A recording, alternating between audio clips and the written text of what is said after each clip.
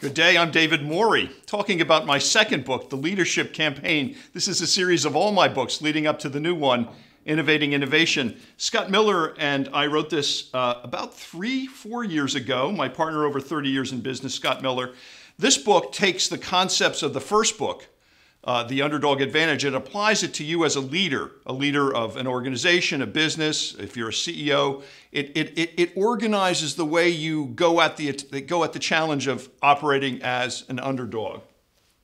What we have found is the only way to lead today is as an underdog, as an insurgent, as a change leader. In some ways, the leadership campaign is a battlefield manual about how to lead change. You have no choice but to lead change today. And in fact, if you look at the vacuum of leadership around the world, politically, internationally, in business, we're looking for great leaders. We think you can teach those skills and you can accentuate those skills. Uh, Scott Miller and I have had the honor of working with some of the greatest CEOs in history, some of the greatest politi- political leaders in history, six Nobel Prize winners, uh, 10 billionaires, some of the great history, uh, the great CEOs of history. And we take all those lessons and unpack it in the leadership campaign. What it really is, it talks through the steps over about 11 steps of what do you do if you're actually going to run a political campaign, but you're the CEO of a company.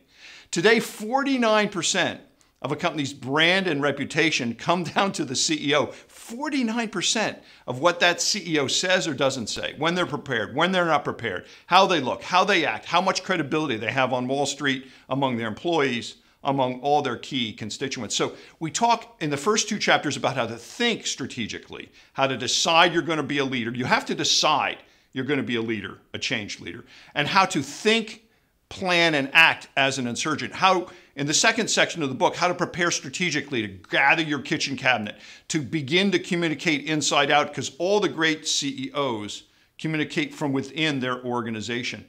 Uh, next, we talk about how to communicate strategically, how to announce your candidacy, how to define your values as a leader, to define what the stakes of change are, to define what the future looks like. Because the best leaders in the world, the best leaders we've had an honor, the honor of working with, have all been able to define the future.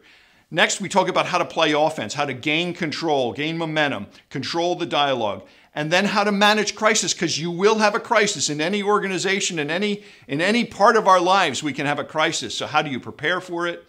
How do you practice dealing with that crisis? And how do you play offense once you're in the crisis? Because often our worst days are our best days. Often the worst day we have becomes the best day. And if you can pivot off that and play offense, you have tremendous advantage. And then finally, we talk about how to run your own leadership campaign. We have a, a, change workshop for leaders, a change leadership and innovation workshop over a couple hours.